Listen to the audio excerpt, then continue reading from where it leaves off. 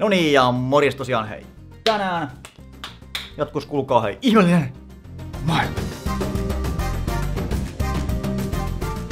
Ja tuttuun tapaan tässä jaksossa käydään läpi kaksi, kaksi eri aihetta. Ja tässä jaksossa tutustutaan hämmentävään selviytymistarinaan, joka sijoittuu Etelämantereen tuntumaan. Joo, ei varmaan kylmällut tai mitään.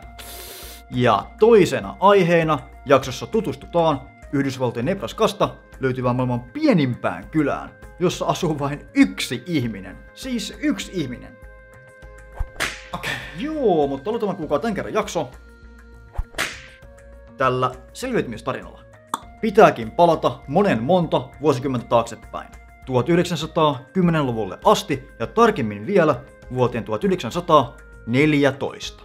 Eräällä miehellä oli yksi unelma ja tavoite. Tavoite oli päästä Etelämantereelle eli Antarktikselle tutkimaan sen hyisiä ja mystisiä alueita. Ja kyseinen mies oli brittiläinen tutkimusmatkailija Ernest Shackleton. En siis ollenkaan, että niin mitä toi nimi pitäisi lausua, mutta saa kelvata. Tosiaan vuonna 1914 Shackleton ja hänen 28-päinen tutkimusryhmänsä lähti Endurance-laivalla kohti Etelämannerta. Miehet purjehtivat ensin Englannista jäätävän pitkän matkan pienelle Etelä-Georgian saarelle Grytvikeniin valaanpyyntiasemalle. Ja tosiaan tuo matka Englannista tuonne pienelle Etelä-Georgian saarelle kesti kolme ja puoli kuukautta. Ja tosiaan tuolta saarelta sitten matka jatkuisi kohti Etelämannerta. Ja siis joo, tuo matkanteko oli siis todella, todella hidasta tuon ajan kalustolla. Siis siihen aikaan niin kun, ei vaan oikein niin kun, laivat kulkenut sen kovempaa. Ja muutenkin oltiin vähän vieralle vesillä, niin hidas matkanteko oli niin kuin ehkä se paras vaihtoehto. No, sitten viimein he niin rantautuvat sinne Etelä-Georgian pienelle saarelle. Sillä vissiin pari päivää niin kuin, he niin kuin chillaili, lepäili ja tälleen. Mutta sitten vain muutama päivä Etelä-Georgian saarelta lähdettyä Shackleton miehistöineen ajautuu alueelle, jossa oli valtavasti suuria jäälauttoja. Matkan teko hankaloitui huomattavasti. No, ei siinä sitten mitään, oli pieniä alkuvaikeuksia, mutta kuitenkin homma saatiin taas niinku kunnolla pyöriin, eli laiva meni ihan hyvin eteenpäin, kunnes sitten laiva jäi jumiin aika pitkäksi aikaa. Joo, laiva jäi sitten jäi jumiin ja matka tyssäs. Laiva oli yhteensä jäissä kiinni kymmenen kuukauden ajan, siis kymmenen kuukautta jäissä kiinni ja niinku miehistö siellä laivassa. Niinku keskellä ei mitään. Niinku, mitä sä teet siellä? Siis ensinnäkin tohon aikaan, kukaan sua ei sieltä löydä, kun ei mitään paikannusta. Toiseksi, kukaan tuonne ei myöskään pääse, koska niin paljon jäälauttoja. Kolmas, kukaan ei löydä sutulta ikinä. No, sitten lopulta koko jää massa ja paine upotti koko laivan ja koko tämän tutkimusretki kunnan piti ratautua niin näille isoille jäälautoille.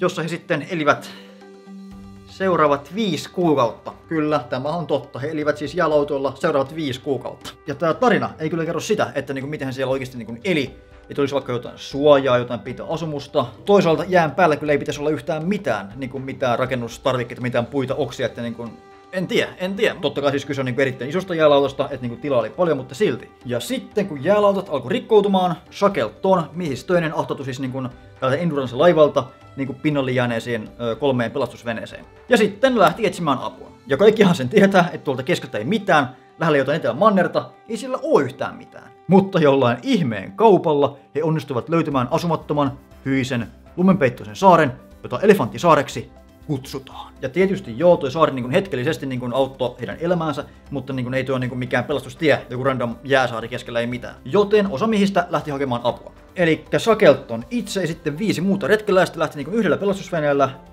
erittäin epätoivoiselle avunhakureissulle. Loput seurueesta jäivät Elefanttisaarelle rakentamaan jonkin sortin alkeellisia lumisuojia ja asumuksia, mihin pääsi tuulen suojaan ja lepäämään.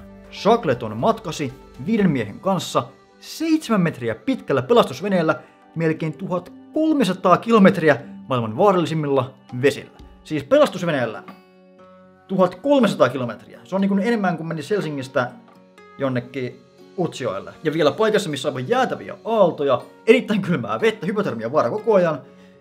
1300 kilsaa. Ja ei niinku varmaankaan ollut mitään siis kunnon ykkösluokan niinku navigointilaitteita, että niinku mennäänkö varmasti oikeaan suuntaan vai ei. No, sitten 17 päivää myöhemmin tämä kuusikko selvis kun selviskin takaisin tälle Etelä-Georgian saarelle, mistä aikoinaan niin lähtivätkin. Mutta sitten miesten epäonneksi he rantautuivat saaren asumattomalle puolelle, ja heidän piti vaeltaa siellä kylmyydessä, vuorien ja jäätiköiden läpi 43 kilometriä valaanpyyntiasemalle.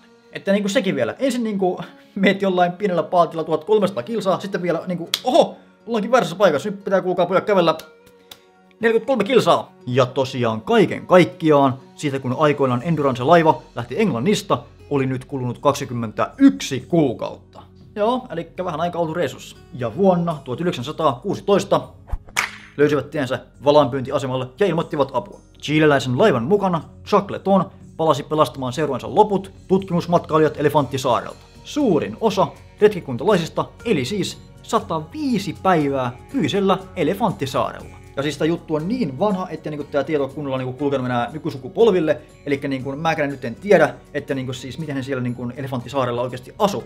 Että niinku, millaisia asumuksia he olivat niinku tehnyt tuossa niinku, 105 päivän aikana, herra Jumala sentään. Mutta kuvitellaan tilanne, että saari ei ole kokonaan lumenpeitossa, niin siellä on varmaan jotain puita, oksia, pensaita, josta pystyy keräämään niin vaikka tikkuja, puita, tälleen, niin kuin, että saa jotain niin kuin asumusta kasaan kuitenkin. Ehkä sitten oli näin.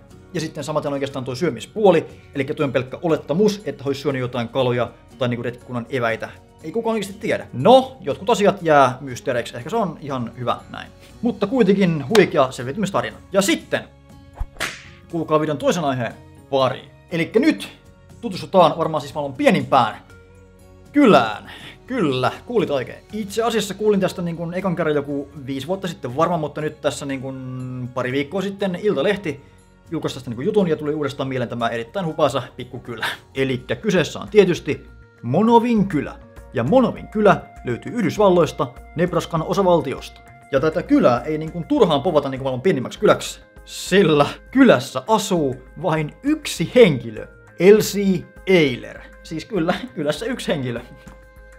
Kyseinen vanha rouva Elsie on samalla Monovin pormestari, ravintolan yhdistetty kokki, baarimikko ja tarjoilija sekä talouspäällikkö, kunnan sihteeri ja kirjaston hoitaja. Joo, siinä on tosiaan muutama titteli itsellään. Alright, eikä sinne sitten. Ja kaiken kukkuraksi.